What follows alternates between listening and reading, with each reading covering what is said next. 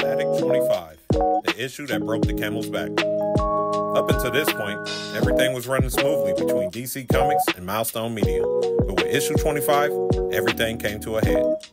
If you have given them pretty much editorial carte blanche to do what they want to do, they're going to do what they want to do. Unfortunately, that led to some conflicts with DC, especially near the middle and the end of the milestone tenure. Guys like Dwayne felt this was our opportunity to actually make a statement about the characters that we're working on. They were going to make that statement. DC editorial be damned or not. It was almost inevitable that Milestone's envelope pushing would put it at odds with DC. That came to a head with the controversy over the cover to Static issue 25. It was a cover where the main character, Static, aka Virgil Hawkins, was making out with his girlfriend. It was going to tackle the issues of young people having sex with uh, candor but being honest about it, they were going to tackle it because they wanted to bring realism to their characters. The artist also put a condom on the cover among other paraphernalia. The original cover showing two teenagers kissing with condoms laying nearby did see print on the inside of the comic. But what really stirred the pot was McDuffie's editorial at the end of the issue, where he called out DC and Paul Levitz in particular for interfering with Milestone's editorial decisions. Vice President of Publishing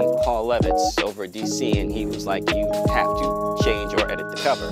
Dwayne decided the best thing to do there would be to run the cover because it's truthful and honest to what we're trying to do. So that issue went to press with a letter from Dwayne explaining that the issues that they had with DC about running the cover, in the sake of artistic integrity, they were going to run that cover anyway. And unfortunately, things turned sour with DC from that point on. Guys made a set of decisions because they wanted to get the comics in the widest possible distribution. They really wanted not just in the comic shops. There was still a reasonable number of newsstands carrying comics in those years. Well, in order to do that, you had to say, all right, we can do certain things inside the books, but we're not going to get newsstand distribution. They're not going to put the books out if we have certain things on the covers. Dwayne felt compelled to write an editorial in Static 25 about that, and I think he mentioned Paul by name, and I think he used the word racism somewhere in there, and then suddenly the bills weren't getting paid. Basically, Paul was upset about it, and I think they were squeezing Dwayne out. Dwayne, he was adamant about what he wanted to say.